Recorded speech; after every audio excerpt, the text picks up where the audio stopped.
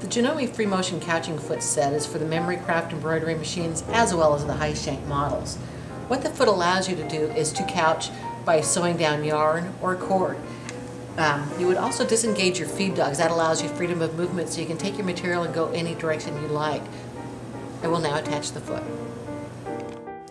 Once I've attached my foot, I went ahead and placed the cord in the opening in the front of the foot. So when the needle comes down, it's going to couch or sew down the cord.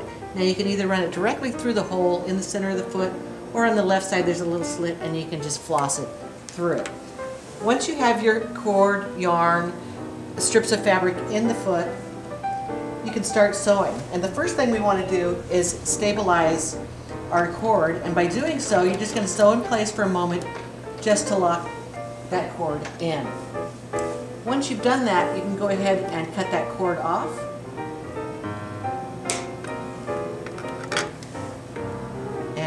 To go. And now you think of your needle as your pencil and it's going ahead and it's positioning your yarn exactly where you move. Now I don't know if you can tell but up on top of the machine I have positioned my spool pin, my additional spool pin.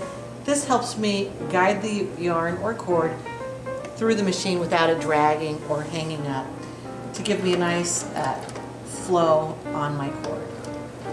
Once you've come to the end of your design, whatever it may be. And again, you can come through and fill it in. This could be an outline if you wanted it to be, and then you can go back and fill it in. Once you come to the end, you're going to snip the cord right at the top of the foot and sew in place for a moment just to lock in the other end. And that is how you use couching foot.